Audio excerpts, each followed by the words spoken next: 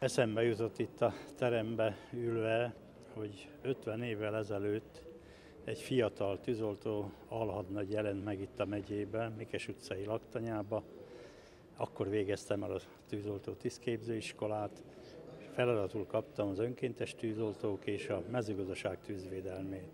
Hát ezt csináltam végig. Egy nagyon fontos dolog volt az életemben, hogy amit rám bíztak, nem azt kerestem, hogy hogyan nem lehet hozzáférni, hanem a lehető legjobban megoldani.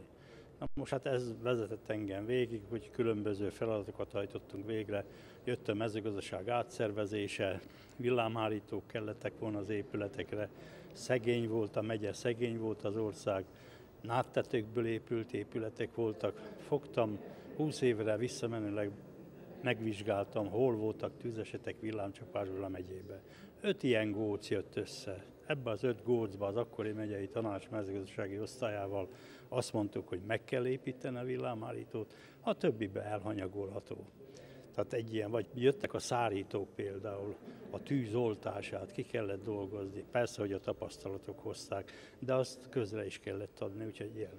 1970-ben javasoltuk a megyei tanácsnak, hogy jönnek a 50, 75, 100 éves évfordulók az önkéntes tűzoltó egyesületeknél, kapjanak ezek jutalmat. A megyei tanács elfogadta, de egy kikötése volt, hogy igazoltnak kell lenni a megalakulásnak.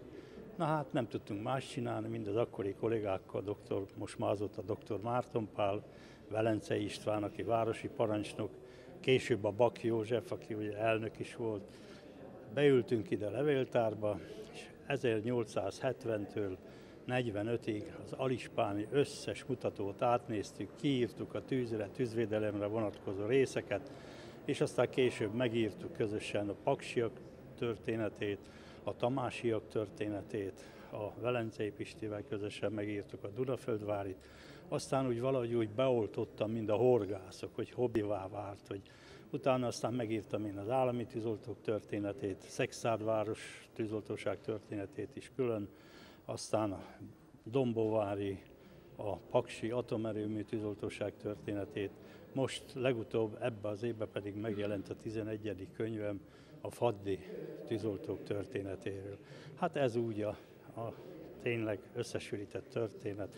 Sok élményben volt részem a 50 éves tűzoltói vagy 53 éves tűzoltói múltam alatt. Voltak szomorú időszakok, ezt egy hosszabb beszélgetésnél el lehetne mondani, de hát itt nem. Örülök ennek a elismerésnek, mert, mert ritkaság az, hogy egy ilyen megyei önkormányzat épp a tűzoltóktól emel ki valakit, és épp ilyen nyugdíjast, ugye 73 évesen kaptam ezt az elismerést. Megköszönöm azoknak, akik kezdeményezték, azoknak, akik adták.